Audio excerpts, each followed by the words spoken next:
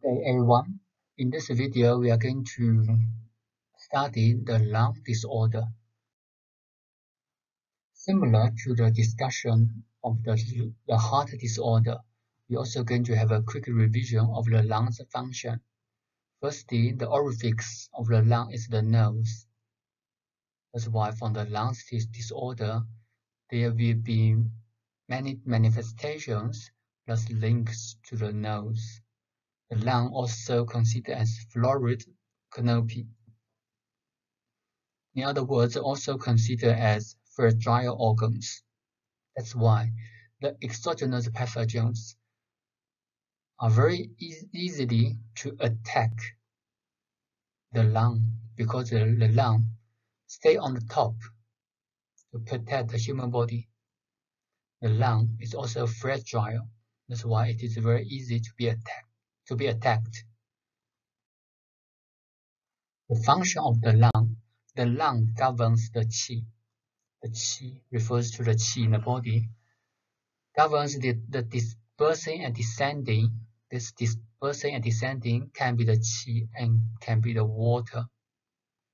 The lung links to the all vessels. That's why we can diagnose. Also, this lung refers to can refers to the lung meridian.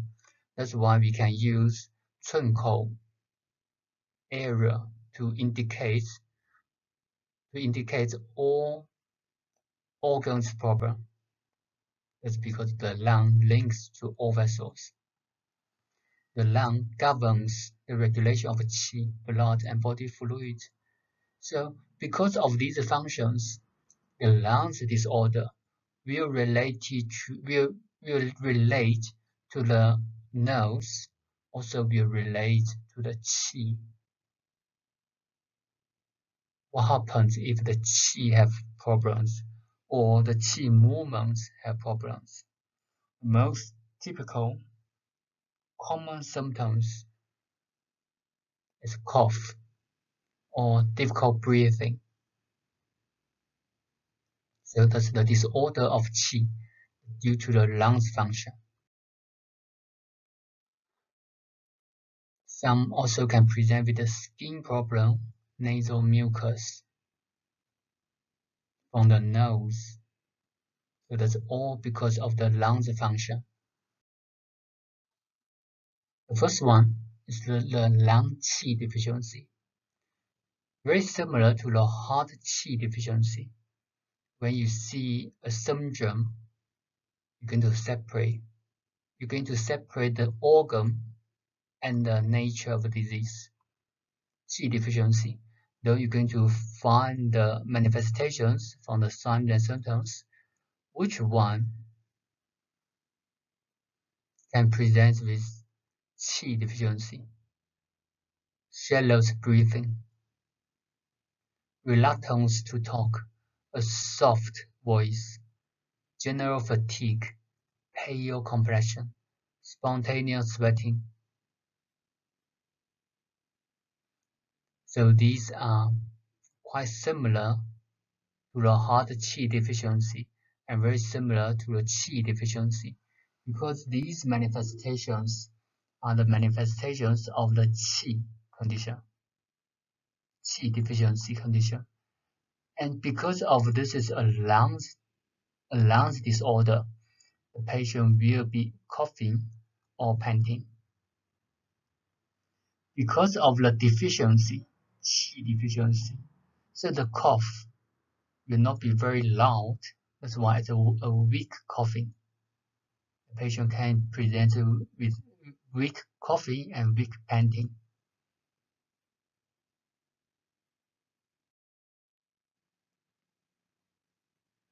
Patient also may be wind intolerance or very easy to get common colds or common flus. So this is the situation in clinics. If a patient got a very poor immune system, they got flu or got colds very easily, we will diagnose as a lung qi deficiency. Or we also diagnose as a lung and spleen qi deficiency. The reason is because qi, the lung, links to the skin over the body. And qi deficiency will result in the defensive qi, which also the one to protect our body, but defensive qi deficiency. That's why the patient will present with poor immune system. That's why they are more likely to have common colds.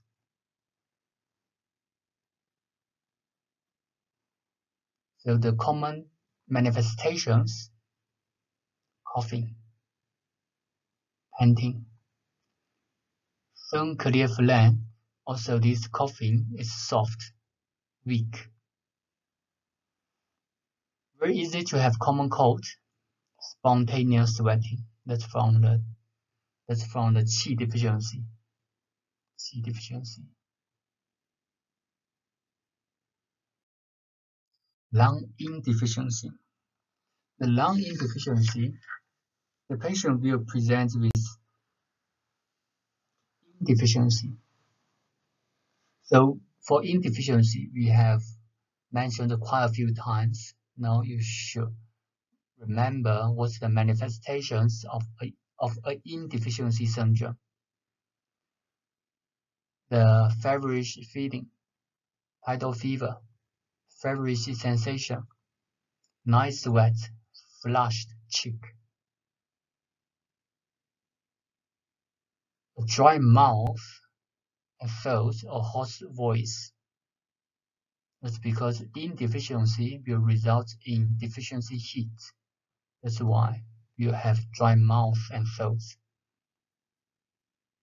Unproductive cough, which means the patient will have phlegm but the phlegm is not a lot. So scanty, sticky phlegm, the reason is yin deficiency, have deficiency heat.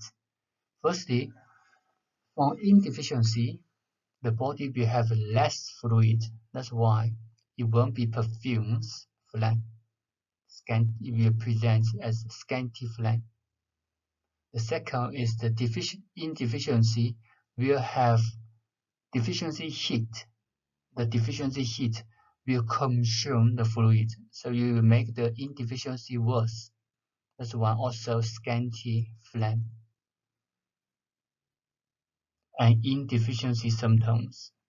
So this this coughing and the lung qi deficiency coughing is very different. This can present as dry cough the lung qi deficiency, we more focus, focus on the sound. So we said it's very weak cough. The wind cold attacking the lung. The wind cold attacking the lung is from the exogenous pathogens. So from this from this syndrome, from the, the terms of the the name of this syndrome, we will know the cause. This patient presents the cause is the wind and the cold. So the patient will present with white tongue coating, thin white coating. Superficial, that's because this is an exterior syndrome. Nasal discharge clear nasal discharge. That's because of the cold. White phlegm, color. So the patient may present with coughing and panting. The patient may present with fever, nasal obstruction, or nasal discharge. So this wind cold attacking the lung in the clinics, we can see, especially when patient got a common cold, one of the one of the symptoms of common cold is the wind cold attacking the lung. A patient may present with chills, fever, nasal obstruction, clear nasal discharge, charge, headache, body ache, and then some with cough or without cough. That's um, an exterior wind cold syndrome. So this is from the exogenous pathogens. Since we know that in the pathogens may be wind cold. You also may be wind heat. With wind, with the wind, the wind heat, the manifestation is very similar. It also can be the common cold. The only difference is from the heat. From the heat, the nasal discharge, the turbid, means the means the sticky. So the discharge will be sticky. The patient will have a dry mouth, thirsty, or sore. Red tip is from the heat. Thin yellow coating. Superficial, that's because also exterior syndrome. So the key manifestation of wind heat attacking the lung, cough, yellow phlegm, thick or sticky, thick or sticky yellow phlegm, and wind heat, exterior syndrome. So now you can go, you can go back to the eight principles in an exterior syndrome. What kinds of manifestations?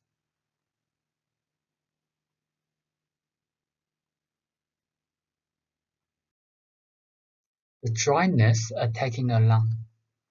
The dryness refers to uh, in the in the in the patient in the body there's not enough fluid to moist moisten the the body, so you present as dryness.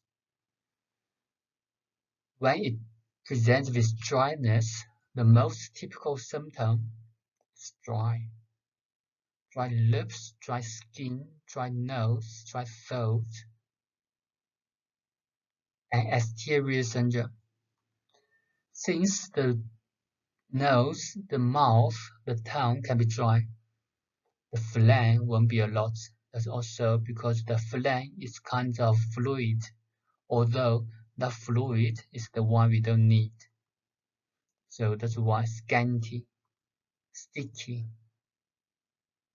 the patient also may be may present with dry cough, and the, the cough can have phlegm, but this phlegm is very difficult to cough out.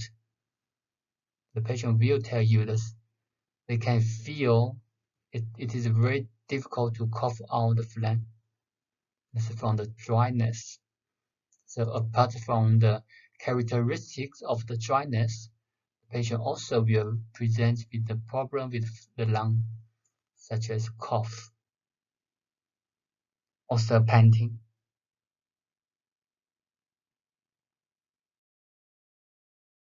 The fire, the lung, the lung heat. This, this syndrome is due to excess lung heat.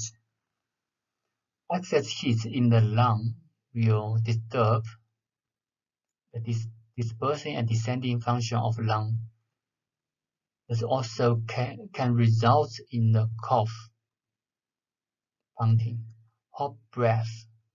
So when he breathes, they can feel the, the, the heat.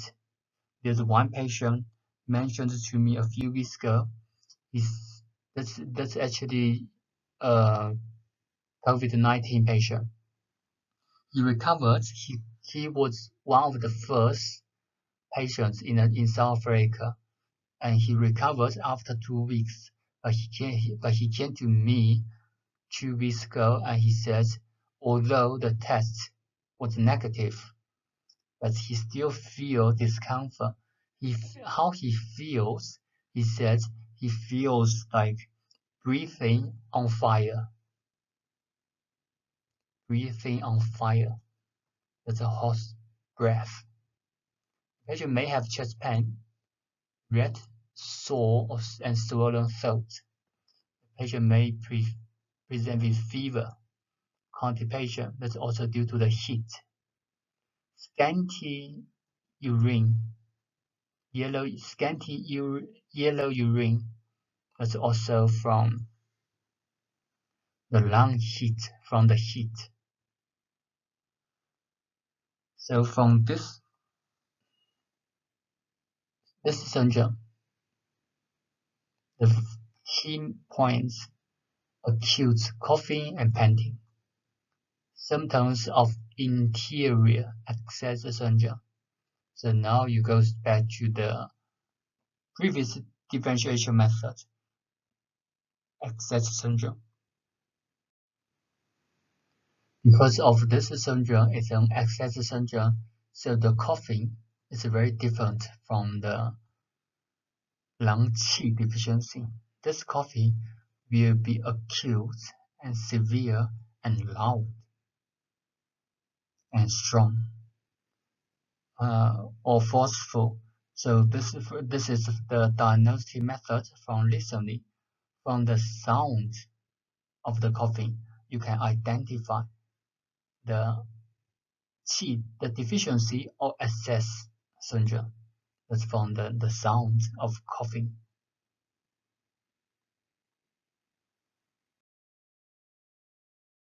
The phlegm heat accumulating in the lung.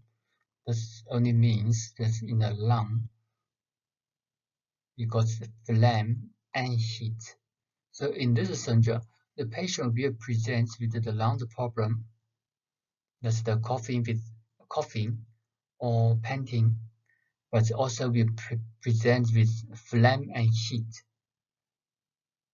Yellow, phlegm, panting, rapid breathing, heat, coughing with foul smelling pus or blood in the phlegm. That's due to the heat. So that's from the, the smelling. The patient also may have yellow urine. That's also from heat. High grade fever. That's because of the heat. So as you can see here, this syndrome is an excess syndrome, excessive heat. So that's the key manifestations there. Also, when you when you study these manifestations, you can refer to the analysis in the textbooks. That's how to anal analyze these symptoms. And, and from the analysis, you you will have a better understanding also you you will have a you will have a more impression a better impressions on the basic theory how to apply the basic theory to uh, to analyze these manifestations cold phlegm. the phlegm can be hot the phlegm heat or can be cold the cold phlegm, the patient also presents with phlegm, so also have panting, coughing. Careful, that's the key point. Some of the that's only coughing, some with panting and coughing. You can use either because these manifestations can happen in all patients. You can't say that a cold Affecting the lung will present with panting and coughing. A phlegm heat only presents as coughing, no panting. So this will depend on the individuals. It will vary on um, different patients. So this manifestation will include the lungs problem, also the cold coldness, cold lumps, the phlegm problem, phlegm chest tightness. The tongue is pale with white greasy coating. The greasy is the tongue, is the phlegm. The white is the cold white coating. So that's the, the phlegm, the cold phlegm. Can a phlegm heat affecting the lung has wheezing sound in the throat. It's also possible, so these are not the key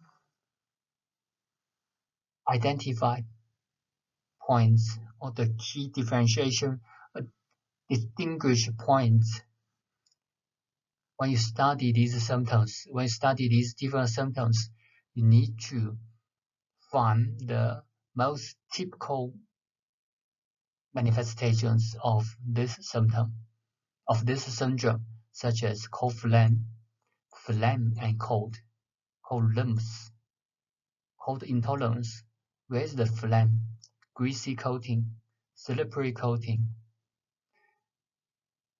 cough with phlegm, perfused phlegm. So that's the most typical manifestations of these of this syndrome. And these typical manifestations can help you to distinguish with others. Phlegm dampness affecting the lung, as you can see from these three. These three syndromes all related to the, to the phlegm. The reason why they have phlegm heat, cold phlegm or phlegm dampness, is because we want to emphasize the other parts. The phlegm dampness. Let's only tell you this. There, there's extra dampness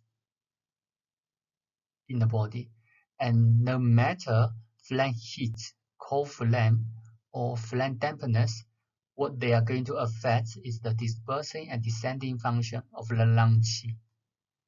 The dispersing and descending function of the lung qi represents in coughing and panting. That's because the coughing and panting is the manifestation of the disorder of lung qi. Cough with white, sticky, perfumed phlegm. That's the from the dampness. What's the difference between the dampness, phlegm dampness, and the phlegm coldness or cold phlegm? As you can see from the manifestations, they are quite similar. They have a white greasy coating. They have a white phlegm. The only difference is, that the patient feel cold or not cold lumps or cold intolerance that's from the cold syndrome. So that's how to identify different symptoms and syndromes.